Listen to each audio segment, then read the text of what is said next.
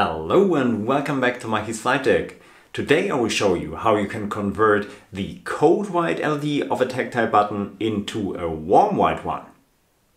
Okay, these look completely identical, but you will see.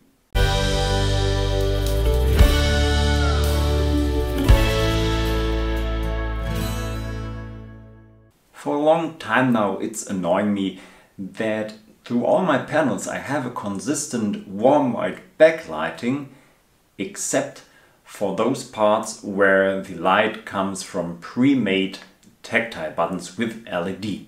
You aren't able to find a warm white ready-made tactile button on those marketplaces where you usually buy all your hardware stuff. Until now I think I only have found one reseller of those pre-made warm white tactile buttons and I can't understand why because they are needed here in the simulator scene. Okay, then finally I made the decision that there is no other chance of finally building them by myself. You can relatively easy remove the LEDs of those tactile buttons. Just wiggle a little bit with some tools you have lying around and then pull the LED out of the box. As a replacement you can use those 1.5 millimeter LEDs. You can buy them in a bulk. And don't think those 1.8 millimeter LEDs you can find too uh, will also fit into the box here. No, no way.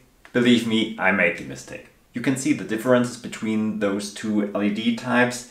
The smaller one that we are need has the legs going to the sides and the bigger one has the legs underneath. And this one doesn't really fit into the housing here and you are also risking to break the LEDs when you are bending the legs. So just buy the smallest one and you're ready to go.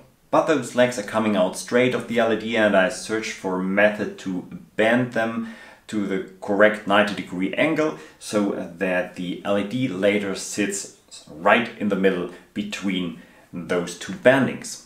I first thought that I can use uh, such a pre-made bending jig for resistors that you can buy, but this doesn't have the right width for this. And then I realized that I have a 3D printer standing around and can produce a jig exactly how I need it.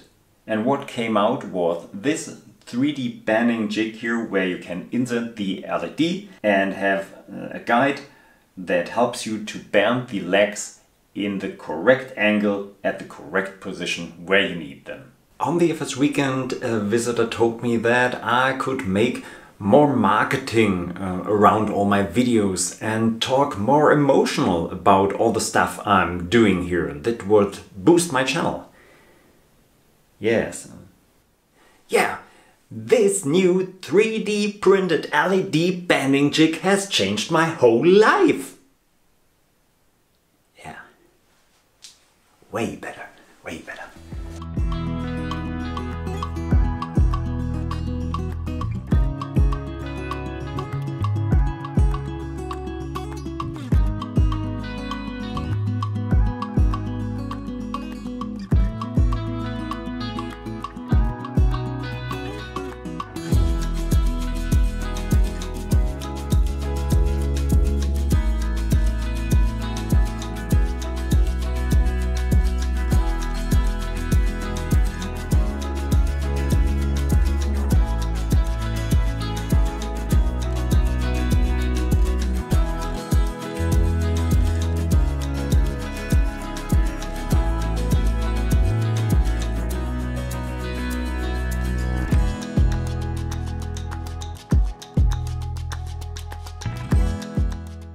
And finally I have the same backlight color in my push buttons like under the rest of all my panels. The decision is up to you if you want to invest the time to refactor your push buttons or buy a ready-made component, but keep in mind they are very rare.